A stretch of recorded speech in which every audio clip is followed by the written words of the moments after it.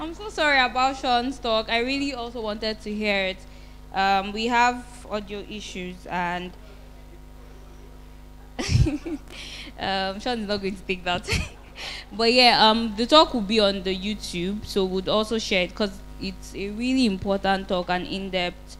Um, can can someone tell people to come inside? This is the final thank you speech that I've been saving for four months.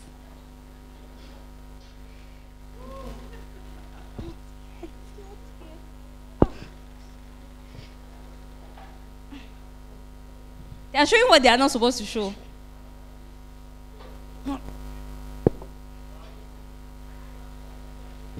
Sorry. Okay, so while I wait for people to come in, so this is going to be really fast. First, thank you so much to everyone. Like, um, I'm beyond grateful, right? Uh, thank you. We've been planning this for four months since January, and we decided that since um, you know we made it collocated at OSCAFest because since a lot of people were coming, it would be great to have um, people um, attend, you know, CHAOSSCon, and we've been planning for four months. We've had hurdles, a lot of hurdles, and we're able to pull this off. So I said, I know earlier in my, when I gave the welcome speech, I was going to give a kind of like a little story about how CHAOSS Africa started and, you know, where we are today and kind of what we'll do in the future. Um, I don't have a slide because I've I've been running up and down. So um, I'm just going to take the story like that, and um, and there's a very big announcement I have at the end. Um, that's you know it's really exciting for me, and I'm sure it's going to be exciting for everybody. Um, so yeah, where did we start from? Uh, community is really important. It's I think it's the for me I feel it's the heart of open source, right? The community, the people that you meet, the connections that you make, the the little messages, the little actions that you do, that's what's that, that's what keeps me going with open source. How I'm able to speak to someone, and the next time I speak to them, something changes, and how they also go on to give that ripple effect as well. So how CHAOSS Africa started was, um, you know, Anita gave a talk earlier, and Anita and I were, you know, when we joined the CHAOSS Project, there was just one African contributing, and he was doing his outreachy, um, he was doing his outreachy internship, Tola. And then when we joined, we were lost, like real lost, right? And because we had so much passion to to understand this thing, even when it's, it didn't seem like it would work, we kept going, we kept asking questions. Um, we worked a lot together when, like, you know, trying to talk about the CHAOSS Project in, in our talks, you know, in smaller meetups, and then with talking about CHAOSS Project in different talks, more Nigerians, more Africans started coming into the project. And this was in 2020 during the pandemic. And in 2022, the outreach cohort, the first outreach cohort, we had a lot of outreach applicants that were Nigerians, and major, majorly Nigerians and Africans, a lot. And it was when when um, the co-founder Matt, you know, realized this, it was like, what's happening, right? We had this outreach channel, and then people would troop in and keep asking questions. How do I um, start my outreach? How do I start my outreach contribution? Because outreach has like a lot of phases, and we had so many people, and going back to why there were so many people, it was the little actions we started with back then in 2020. That's what kept growing. The, the seeds we were throwing, um, you know, the seeds we were spreading, they were growing, right? And then um, the the board in CHAOSS realized that, you know, there are a lot of there are a lot of people that are being represented here, and at that time we had like a team called the DI audit team, which um, I've been working with Justin on it, um, sponsored by the Ford Foundation.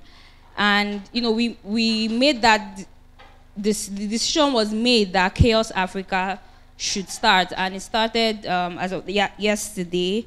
I wanted to get the cake because I'm a big fan of cakes, but I couldn't do that. Um, but yeah, so you know, that decision was made, and at that time I was I, I didn't have a job, so um, I was like, would you love to lead this community? And before open source, before tech, I, I do not see myself as a leader. I'm more of someone that wants to serve.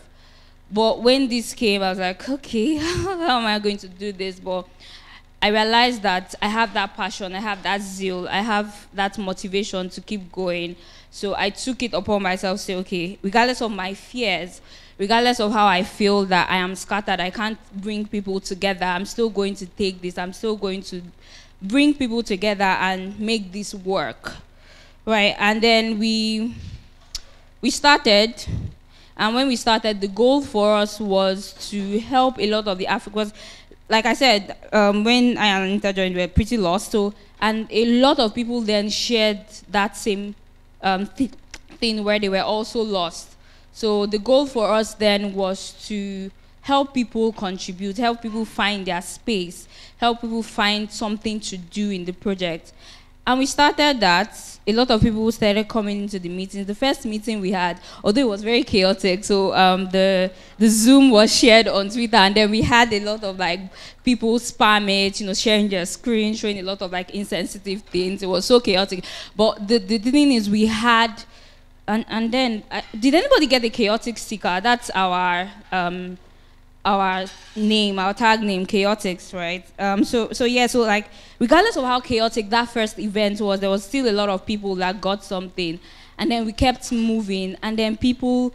People gave their people have given their time to CHAOSS Africa. People have contributed a lot. Even this event, like you have not come because I was also um, organizing on the OSCA side. Like a lot of people made this happen. They brought in a lot of zeal. And then when we started, we started with different working groups, you know, trying to help people um, kind of connect together.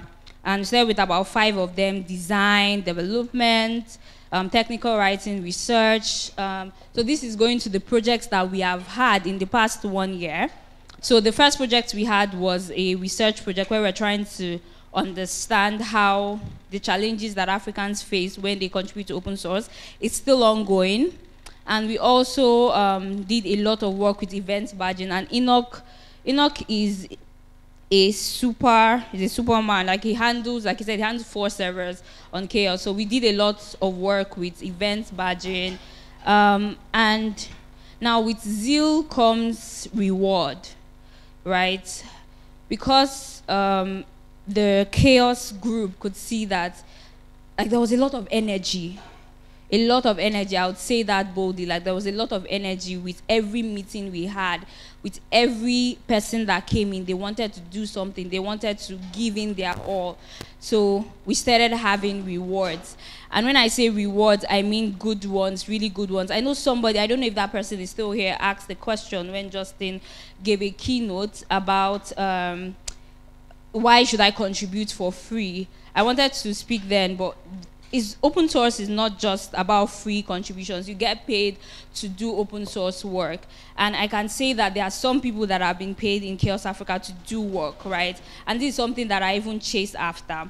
And yeah, so we started getting rewards, like I said, we um, the first thing we got was um, the first thing we got was to um, handle a section of um, the DI um, badging project from GitHub. So GitHub is, was, um, is partnering with um, CHAOSS to launch a section of that. And they gave us this, um, this contract to build that part, the bots and the website, the design. They gave us that. That was the first re reward. And then even today, we've had GitHub Copilot. When I talked about, you know, we had this grant from GitHub as well. It's been all GitHub, but more are coming. I know that. Um, but, but yeah, um, so we had also this grant from GitHub to develop stories, and it has been so amazing. Like, I, can't even begin to list out every one of them. And it's not just about the money, it's the fact that I, I, I find so much joy when I see that people are rewarded for the work that they do, the effort that they put in. So um, these rewards are massive.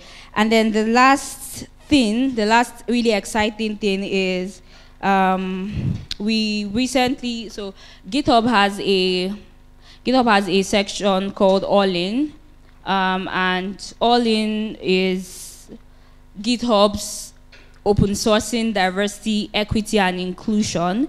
And they for All In, All In is divided into. I'm going to bombard you with a lot of information right now before I get to the main thing. But um, you can read that later, though. Um, but yeah, so All In is a a section of GitHub that works on open sourcing DEI, and they have All In for maintainers and All In for students. So um, I know when I heard about All In for students, when the program started, um, I had spoken to some members, like some people at the GitHub team, and I was like, you know, this is, I, I know um, the program just started, but this is something that I know um, a lot of Africans will benefit from. And what is All In for Students? So All In for Students, it's a program, it's that section of All In that helps students, instead in the US, um, so it helps students, um, you know, learn open source is like education is the key factor. Learn about open source like university students learn about open source help them um, get internships mentorship access to a course like an actual course where you learn about open source um, and you know learn the techniques learn about github learn about like leveling up your career. So then when i saw this whole package i was like huh, this this has to this is something that would definitely should definitely be here and we need the resources to pull it off right? It's not just about bringing in we need resources not just about bringing in people to contribute. I also want people to get rewards for their work. So um, i'm kind of um, kind of excited to announce that um, CHAOSS africa is going to be handling um, all in africa. So all in is coming to africa. And it's going to start as a a one year contract, but I know it will extend beyond this. And there's the plan is still building up. We are still cooking. Yeah, so um, yeah, so um, we're going to be handling this, and it's like I said, it's the education piece, right? It's teaching people how to do open source. It's teaching people how to how to level up their career with open source and the plan, like I said, the plan is still cooking and would be sharing more details soon, more details soon. Something that um, we, we want to be able to plan it well. And um, I don't want to share too much because I think I talk too much. So let me not share what I must not share. But yeah, so that's, that's um, the big announcement. And it's really big, not sharing so many details, but I feel this is going to change so many lives as well, right? Um, and I can't wait to see it happen. And this is a thank you to the organizing committee of CHAOSSCon, um, CHAOSSCon Africa. This is our first event, and we're able to pull it off this big. Right? Um, I'm so excited. Like super. I think this is one of the best days in my life. Right? Um, seeing that people, people's lives were changed. Yes. Um, yeah, so thank you, the organizing committee. They did a lot of work behind the scenes to pull this all together. Thank you to our vendors. The food was lovely. Um, thank you to our photographers. They're taking beautiful pictures that we'll see later. Um, thank you to our media team for helping us set up everything even before the day. And, you know, even regardless of the issues we had, they were able to contain it. Thank you to everyone that traveled far to come for this. I'm so I'm super grateful, regardless of where you came from, even though you walked to this place. Thank you um, so much. Um, OSCAFest is good. The, the Open Source Week, so this is a plug-in for OSCAFest too. So please come to OSCAFest as well. Um, we are going to be taking pictures, like general pictures. That will be like the final thing. But the last thing I want to say is um, I'll go back to that statement of the heart of open source is the com- is the people you meet along the way. Please network. I, take that networking serious because there are a lot of ways that your life could change from um, you know just meeting someone right? Um, so yeah thank you everyone and i hope you enjoy the rest of your evening. And if you're going to be at OSCAFest there's a whole lot we have planned as well so ciao.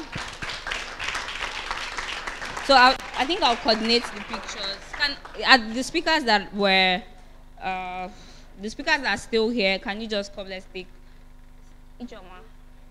Okay. Oh yes. I forgot one announcement. It's too plenty. That's why.